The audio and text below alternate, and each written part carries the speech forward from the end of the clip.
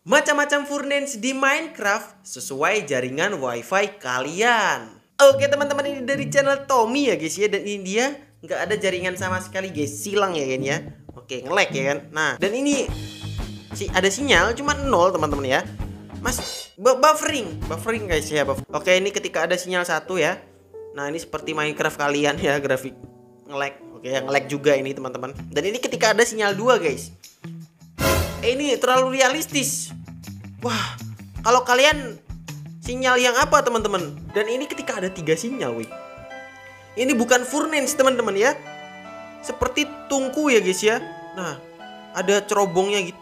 Eh, lo bisa pecah, wih. Ini sangat realistis, tolong. Dan ini ketika sinyalnya full teman-teman lihat. Lihat ya. Wih.